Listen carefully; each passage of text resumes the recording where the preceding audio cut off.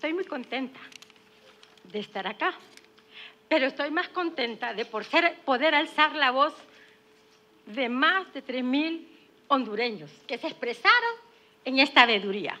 Y quisiera hacer un gran esfuerzo para que esta voz, que representa más de 3.000 hondureños, llegue a la presidenta, llegue a la ministra, que tenemos en el marco de salud mujeres al frente.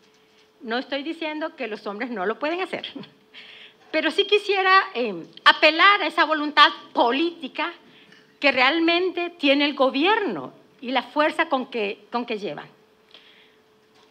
Es importante poner de, antecedente que el tema de abastecimiento no es un tema solo de medicamentos. Es importante que comprendamos que tiene que ver con vidas, con seres humanos. Y nuestro país tiene un modelo de salud curativo, lamentablemente. Eso es lo que hemos construido, un modelo de salud curativo. Por lo tanto, requiere de medicamentos en este momento. Los datos que vamos a compartir fueron levantados en, noviembre y diciembre por la red de veedores, contenta de que estén aquí. Hemos hecho análisis de los datos, ellos ya lo conocen y coincidimos en, esta, en estos datos que hoy, las recomendaciones y conclusiones. Es importante decir que este dato se, se levantó entrevistando cara a cara a los pacientes saliendo de una farmacia, de un establecimiento de salud. Así fue el levantamiento de estos datos.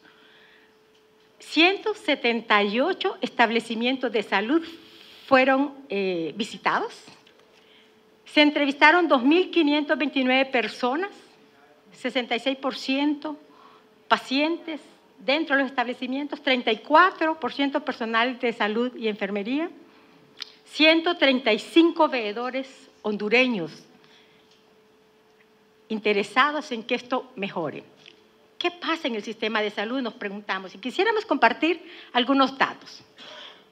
En Honduras es necesario que el sistema de salud se plantee un plan integral, una visión integral de abordar los problemas, porque hay 8 millones de hondureños que lo requieren, que asisten a un al sistema público. Llámese este el que aborda la Secretaría de Salud o llámese este el que aborda el Instituto Hondureño de Seguridad Social.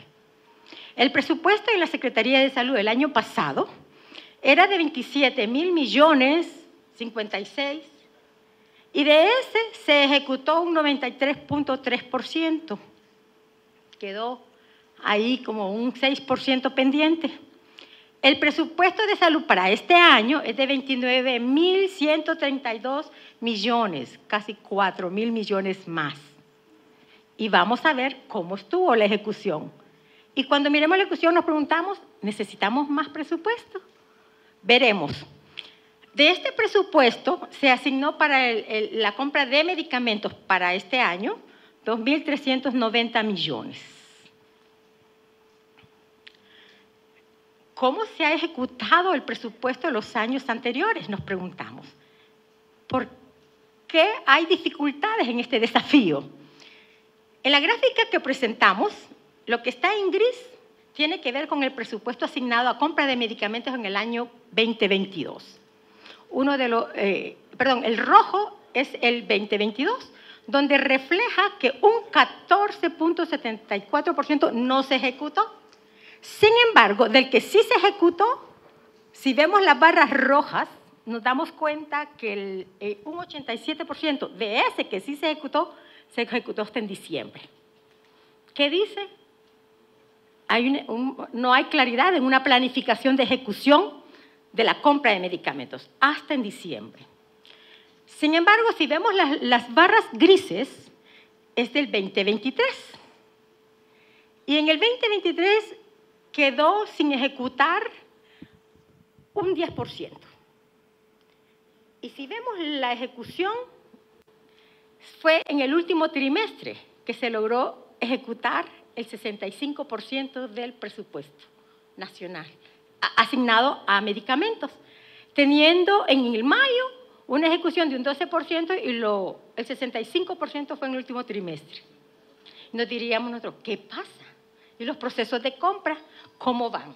También les queremos compartir para que entendamos que esto es complejo, pero que sí se puede. Ahí tenemos la barra del, del 2028, la primera hacia arriba, miremos.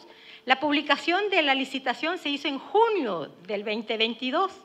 La apertura de ofertas fue en junio del 2022. El, el 18, bueno, ahí hay un error de datos. 14 de junio al 18. Y luego la resolución de la adjudicación fue el 28 de junio. ¿Inició cuándo el proceso? En junio. En el 2023 el proceso empezó en marzo. Ya fue más anticipado, ¿no? Parece, para la compra de ese año. Pero la apertura de ofertas fue el 18 y la adjudicación fue el 30 de mayo. De agosto al 22 al 30, en el 23 diríamos, los tiempos se van mejorando para hacer este proceso de compras. Luego, para el 2024, se lanzó la licitación pública en octubre del 2023. Vamos mejorando tiempos, por lo menos en la planificación. La apertura fue el 4 de diciembre, ya se está anticipando. Y bueno, entendemos que pronto se va a hacer lo de la adjudicación para este año. En conclusión, nos manda un mensaje que los procesos de compra se van ajustando a una mejor planificación, pero tiene que estar alineado a una ejecución. Nuestras entrevistas realizadas a pacientes hicimos varios sondeos. Uno de ellos es cómo está su condición económica de los pacientes que entrevistamos. Y el, 47% de los entrevistados mencionaron que no tienen una fuente de ingreso permanente. Y luego tenemos un 42% que tiene un ingreso menor al salario mínimo. ¿Qué quiere decir esto? Que la población que asiste al sistema público es una población de escasos recursos económicos y que requieren de un sistema de salud sólido, robusto, en un modelo de salud curativo.